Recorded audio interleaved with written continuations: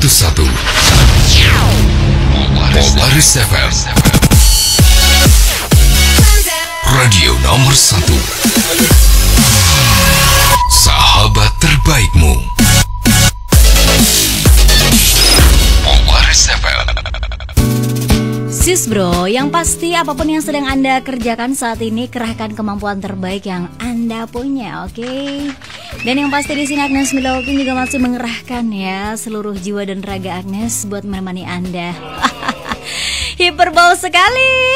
Baiklah, bacakan dulu yang sudah masuk di 081578101101 ada Dedi yang pengen MK aja. Selamat teman-teman dan juga buat Agnes ya semangat. Oke.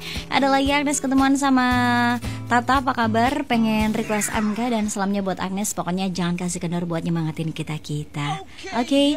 Nggak akan kendor ya. Dan sekarang di 101 Polaris FM bersama kita lanjut lagi untuk mendengarkan MK dan kira-kira kita akan mendengarkan MK dari siapa? Oh, tunggu dulu. Agnes ini mau uh, memilihkan dulu MK spesial buat Mbak Riris ya yang suka sama MK-nya Elemen. Langsung aja Agnes kasih dengan seumur hidupmu. Dan setelah ini Anda akan bertemu dengan Om Bob yang ngobrol sama Mili di Underline akan menyampaikan kaitannya dengan itu loh heboh Bupati Jember yang nerima honor pemakaman COVID-19.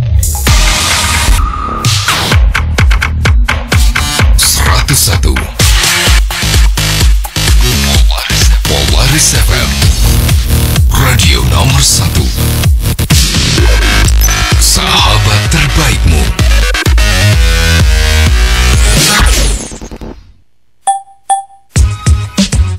Underline.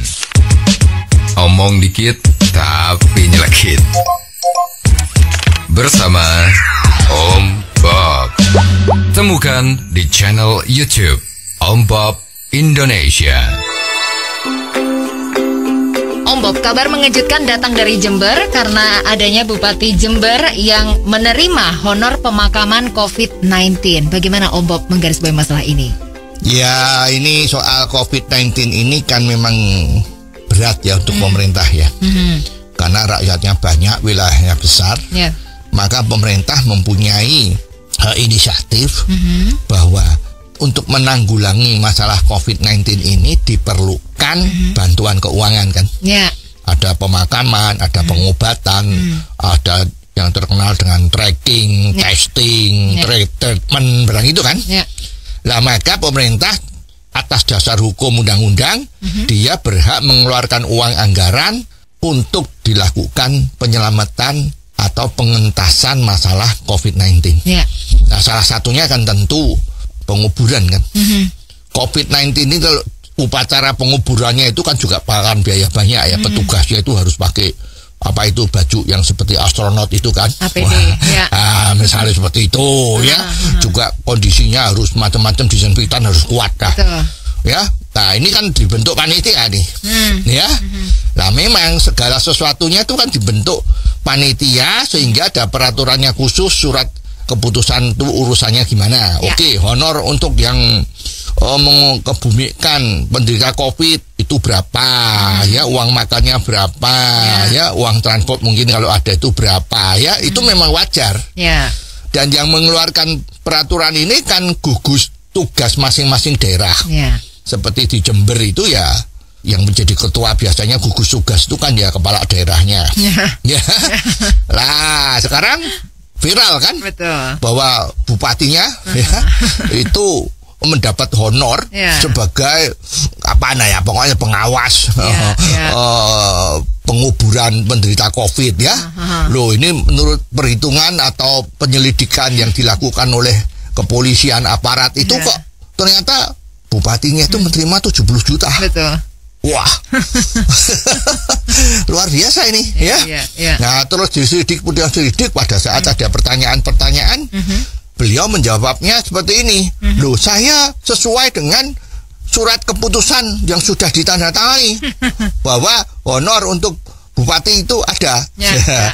Kalau nggak salah honor tiap jenazah yang dikebumikan itu 100 ribu Nah ini ada 700 jenazah Ya 70 juta Gitu aja kan Nah ternyata Ya. eh, Ya ini aneh ini yang membuat surat keputusannya bupati, tapi memberi fasilitas kepada bupati. Iya, iya. Ya, nggak cuma bupati loh. Betul. Ada sekdanya juga. Iya. Ya, terus ada itu apa ketua badan eh, apa itu ya pengatasan bencana atau apa itu ya. Ada empat orang yang masing-masing semua dapat honor. Betul, betul. Nah ceritanya kan hujannya merata.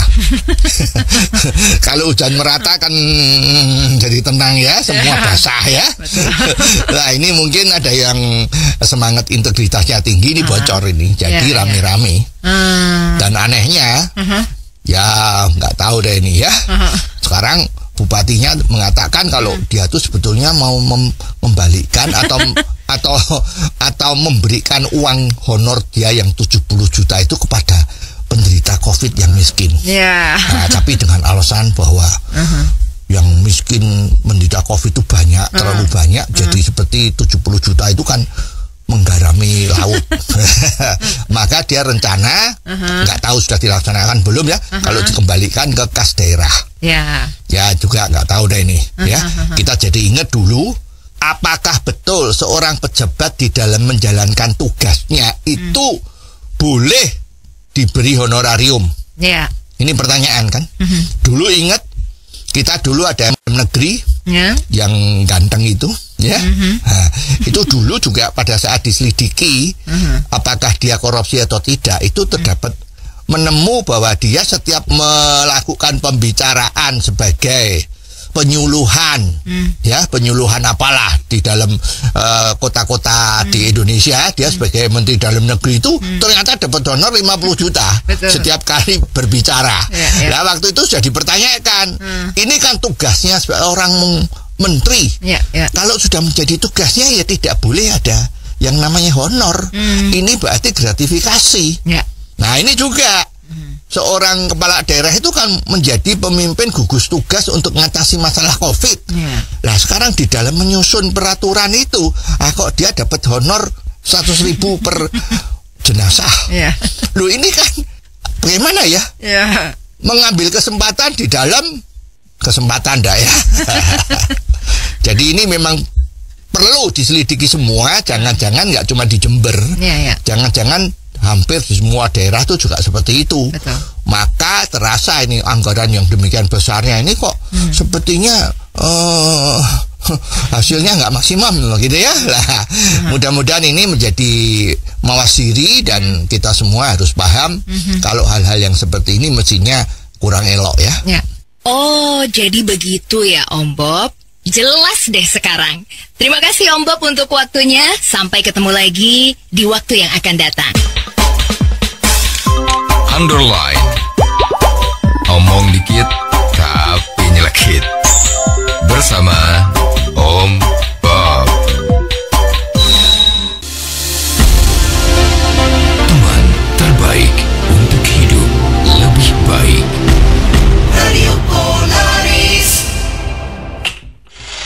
Loh, Bu, mau ke mana?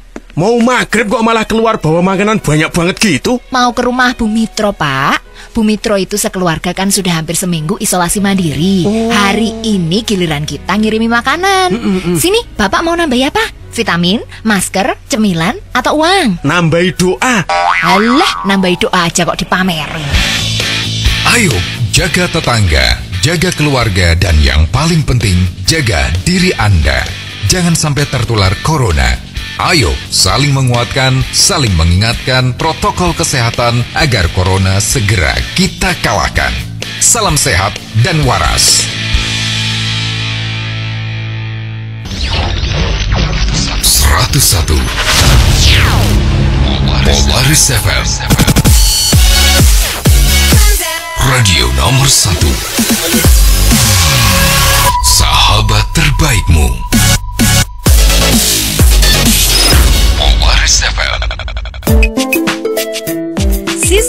masih dilanjut ya Agnes untuk Anda di lunch break 101 Polaris FM dan masih menantikan gabung Anda di 081578101111 ya.